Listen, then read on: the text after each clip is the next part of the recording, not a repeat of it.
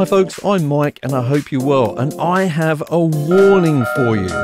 If you watch the rest of this video, you may end up downloading some new plugins because I've been scrolling through the latest bargains at Plugin Boutique and as well as having a great effect, a great instrument and an awesome bundle for you to take a look at, I've also got something completely free. But let's start off by taking a look at what I reckon is one of the best compressors ever released.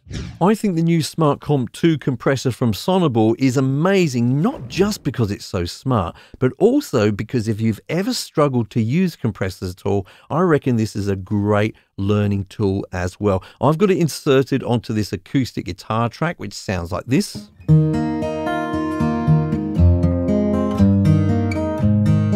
And in order to start actually compressing, the first thing we need to do is set a threshold, a level at which a volume at which we start to compress the signal. So we do that by adjusting this bar here. So I'll just pop that down there. And the other thing we need to set in order to actually compress at all is the ratio. Ratio determines how much compression. So how much we're going to turn down the signal after it's gone over the threshold. The great thing about this plugin is we can visually see what's happening to the signal in real time as we adjust these parameters by looking at the top area here when I play the guitar. Look at the red sort of a uh, graph which scrolls across as I play this.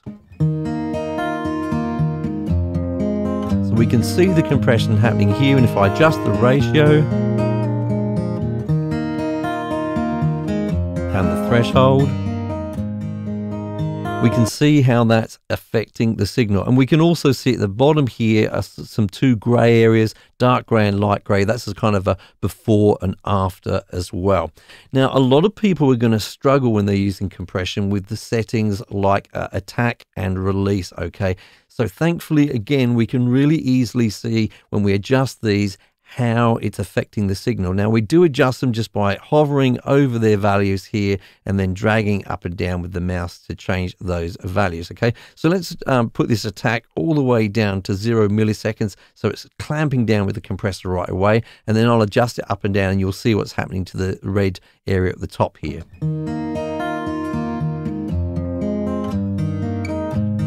So a slower attack and a quick attack slow, quick. Okay, so you can really easily see there with a quick attack, it really clamps down uh, hard and fast on that signal. Okay, likewise with the release, we can adjust that.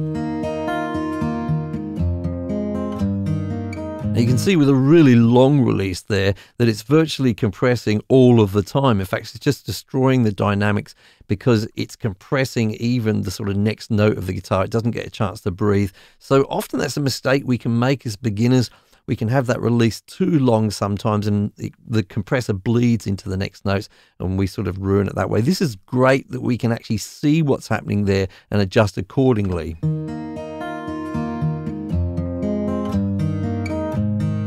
So we can start to see when we've got that release time to the right level at which we can actually allow some dynamics and then start to compress the next note as well, allow some of the transients through. So that is the basics of the controls there. As you can see, it's great plugin already. But what about the smart features?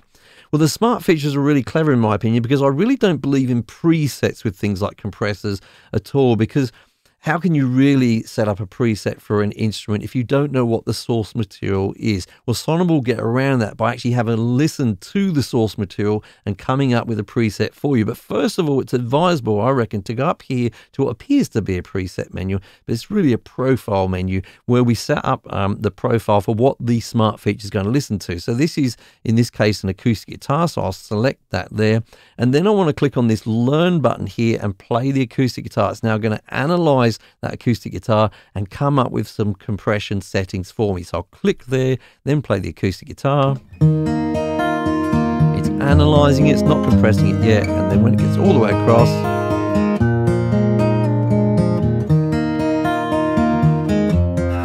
I reckon that's a really great setting. There's some compression happening there, but I'm not really aware of it. It's very, very transparent.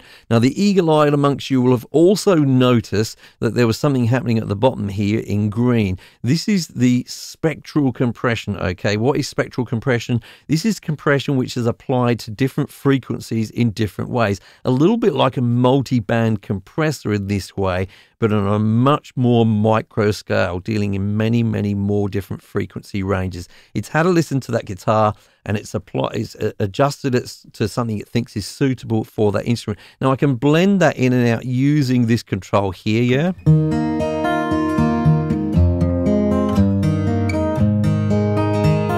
Also got controls over here for a more clean signal to a dirty signal and also a darker sound to a brighter sound. You can blend those in as you wish.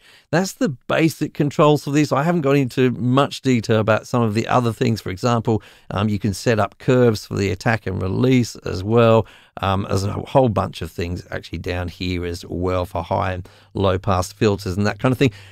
I will let you explore that, but I want to tell you now this is selling at an incredible price over at Plug-in Boutique at the moment.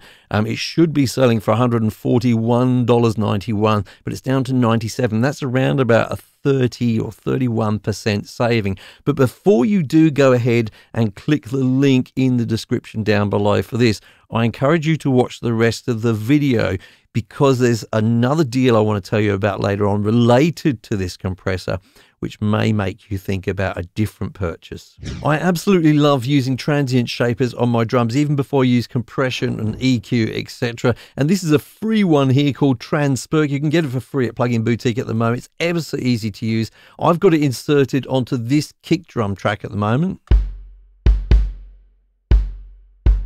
Let's say I want to change the attack of that kick. I can, of course, use the attack control here. See what it sounds like when I have a slow attack. It sounds really sort of woofy. And then a hard, fast attack. Love that, but I'm bothered by that sort of ring on there's too much sustain on this kick for my liking. Let's use the sustain here to control that.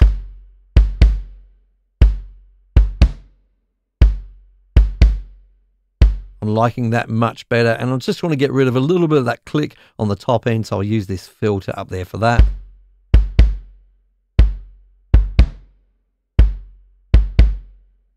And that's how easy it is to shape the sound of your drums using this free plugin follow the link in the description down below and grab it for yourself now. Recently, I saw this plugin being talked about by Finneas, of course, a great producer in his own right, but probably most famous for being the brother of Billie Eilish and her producer. And he was saying that they use this particular plugin in some of their productions. This is Arturia's Farfisa organ plugin.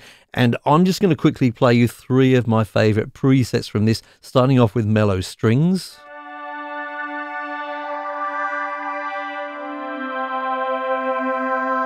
Nice. Let's try Phase Ghost.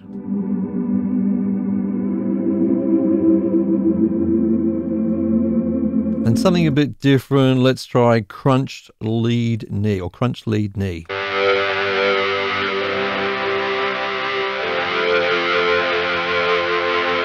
There's so many different types of sounds on here. I can't possibly play all of them to you, but you get a rough idea of the quality here. Of course, it's very it's very sort of loyal to the original Farfisa, and you've got all the same kind of controls that you would have on that there. It also runs through this it's kind of amp sim here. It's got five pedals. You can adjust all of these, all of the controls on these, as well as the swell pedal. And in the spirit of everything Arturia, if you click on the advanced button here, you've got a whole bunch more controls so you can really tailor the sound to your own needs. Selling at a great price at the moment over on Plug-in Boutique. If we head over there, we can see it's $81 currently. That's 50% off, down from $160 if you like this kind of retro sound, then this is definitely something that you should be grabbing. So earlier on, I told you about Smart Comp 2, an incredible compressor, not only because of its compression capabilities, but also because of its smart artificial intelligence.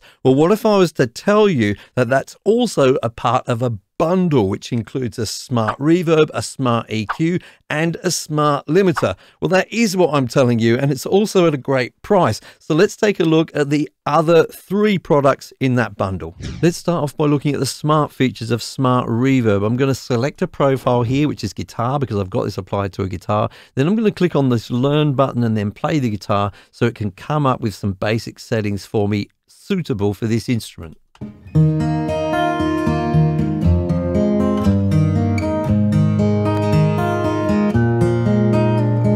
To a pretty good start already. Now you saw a bunch of things move over, move around over here. You can adjust all of these things yourself, but before you dive into that, you may want to try this control over here, which is a kind of a macro control which does a lot of that for you. Okay, if we move this joystick up to the top here, we get a more natural sound. At the bottom, we get a more artificial sound. To the right, a more rich sound, and to the left, a more intimate sound. Of course, you can move it around to many different areas within that control. So let's try this with a really rich sound. A natural rich sound.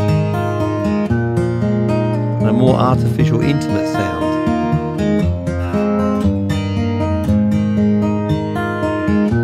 So that's a great way of just getting the kind of sound you want. But as I say, you can dive in a lot more detail. For example, if you wanted to adjust the high frequencies, this is a time scale at the top here, and this is the high frequencies up here.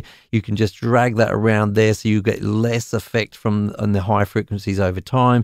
You could increase the high frequencies like so, get rid of the effect in the low frequencies down here. We just drag all those around, yeah, and you'll hear that now.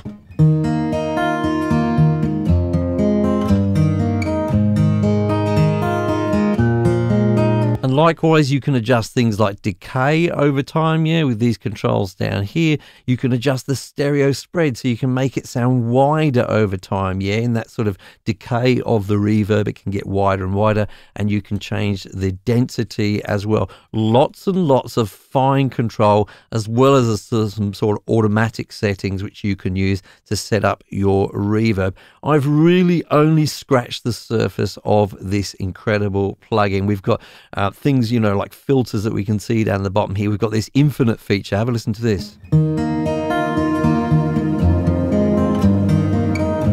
I love that kind of stuff um, freeze, etc., etc. It's just one of the many things that you can do with this plugin. If you wanted, you could use Smart EQ 3 just as a regular EQ. You could just double click on the line here, create a node, and then you can drag them around and then adjust things like the Q as well, of course. And that would be a very valid way to use this plugin. But it's the smart features which really attract me. Let's reset that. I have acoustic guitar set as my profile at the top here. I'm going to click on the learn button and then play the acoustic guitar. It's going to analyze it and then come up with a suggested EQ curve. Let's do that now.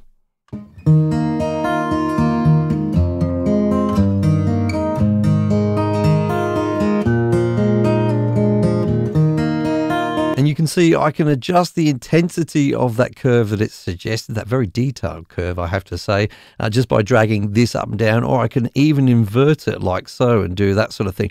That's all very well and good, and you can often come up with a really good result like that. But what if you don't like some parts of that? For example, I'm not sure about the low end of that sound for this song. I could just drag this over here and then just ignore all that low end curve that's created over there, yeah, and just adjust the intensity on the high end there. Or another way I could do it, if I want to keep that low end but just have it at a different intensity, is just sort of split this. So I've now got two adjustment areas here. Let's just move that one over there, that one over there. Now I can adjust the intensity of the high end and have the low end quite a lot less intense. Okay, that's just an awesome way to use this particular feature. I'll get rid of that.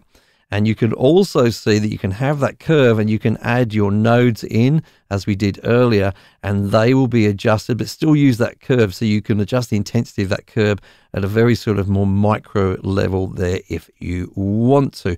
I love all of that about this particular plugin, but my favorite feature of all is where we apply it to several instruments at once. I've got this plugin inserted on a bass guitar track, on some drums, and also on some vocals, and they all together sound like this. You should have held me from the start. I never thought I'd need to.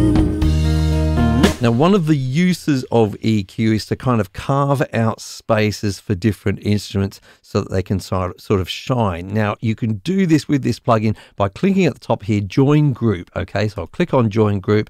I'm going to give my group a name. Let's call it um, Band. Oopsie, helps if you can type band. Okay, so we've got my band there, and its first member is that guitar. Okay, you can see three different levels here level one, level two, level three. That's the sort of where, how you want them to sit in the mix, what intensity you want. Okay, so naturally, I want the vocals to be right at the front, so I'll just drag those up there like so.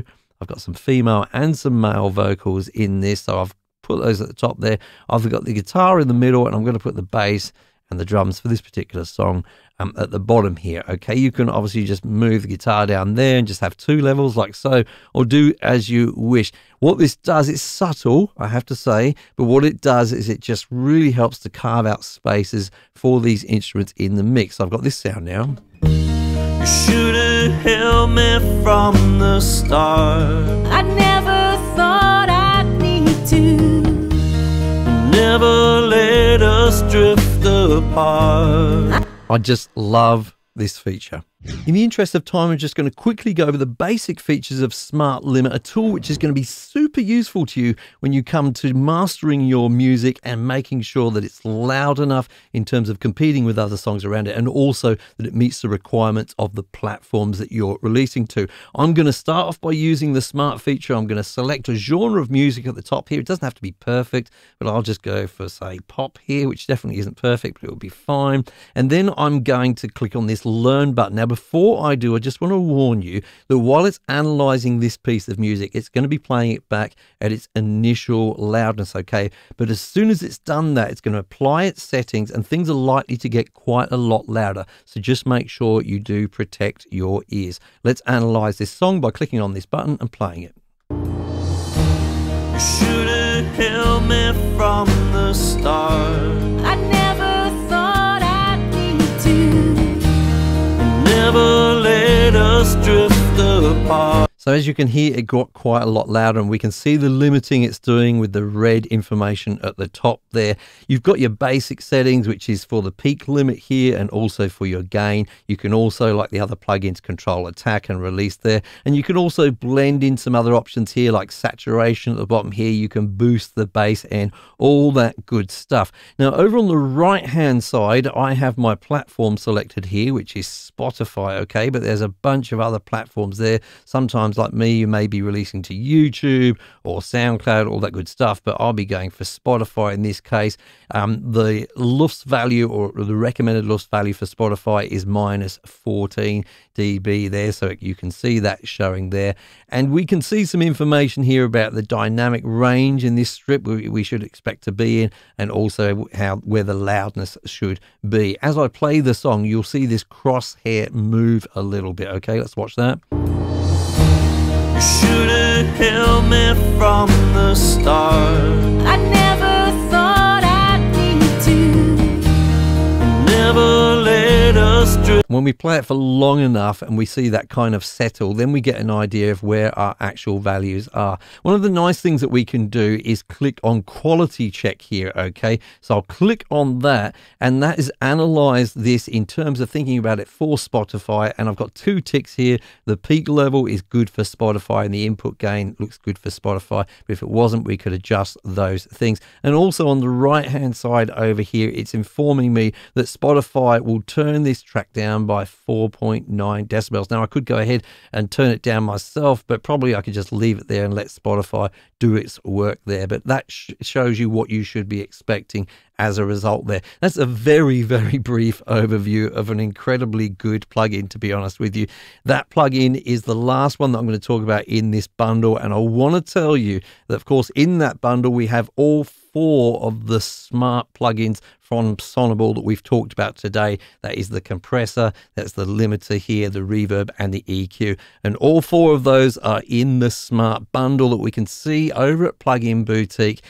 For all four together, you can currently get them for $218. They're down from 328 when you compare it to similar plugins from other manufacturers, we call them that, um, then this is really, really well priced for some plugins I think you could use across the board in your productions absolutely excellent. Make sure you click the link in the description down below. You know, one of the other great plugins that Arturia makes is Pigments 3, an incredible synthesizer that you're just going to love. I made a video all about that and you can click on that on the other side of the logo over there. And by the way, that's also on special Plugin Boutique at the moment. So make sure you check that out right away.